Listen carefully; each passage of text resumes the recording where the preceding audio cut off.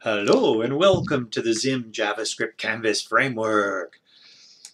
We're going to show you some examples of Zim, and Zim can be found at zimjs.com. I am Dr. Abstract, so let's go take a look at the site now, zimjs.com, and press on Examples.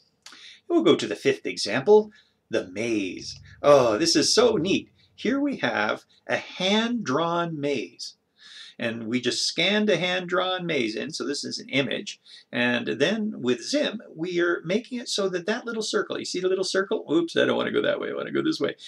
It bounces along, and do you see that? It's hitting the walls of a hand-drawn maze. Can you believe it? Isn't that neat?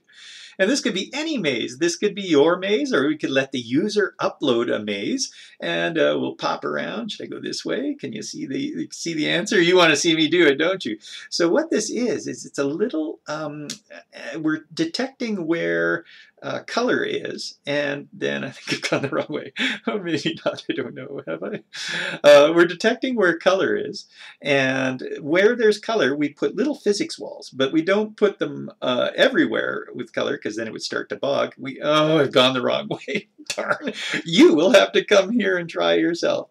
Um, yeah, if I went in that, what if I went in the top way?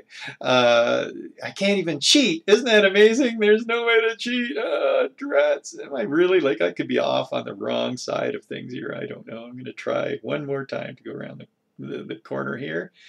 Oh, what do you think? I think I'm almost there. So we're um, adding little physics walls as we go, but only when they're really close to the round circle. So um, uh, is this the right way? Uh, yeah, I think so. Only when they're really close to the round circle.